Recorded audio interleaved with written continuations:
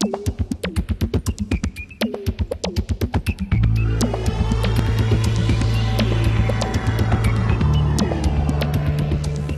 back to GearWire.com. We are live in New York at AES 2007, and I'm here with Gene Williams from PreSonus. Thanks for joining me, Gene. Yeah, thanks for coming by, Bill. And uh, you're telling me about the new uh, light pipe here. Now, we heard about this at MusikMesse, but we haven't actually seen it.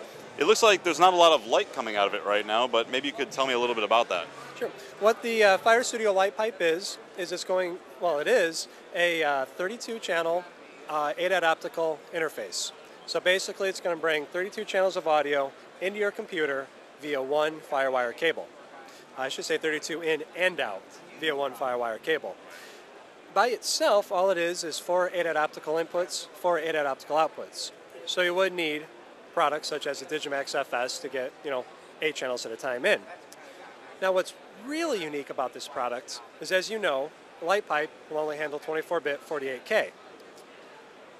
The uh, FireStudio Lightpipe will do a little thing called SMUX. And what that is, is LightPipe 24-bit 96K.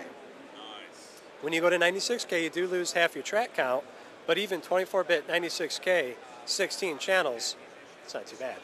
That's pretty awesome. I mean, that's that was what I was wondering because I noticed the, what do you say? It's, how do you pronounce that again?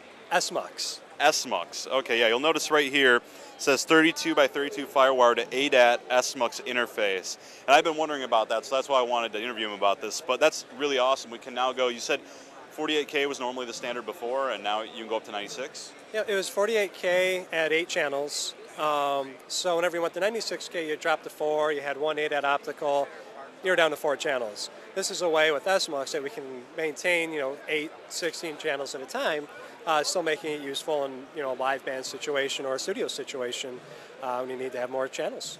Well, that's awesome. Way to bring that uh, up to what everyone else is starting to do now. Looks like everybody's going that way.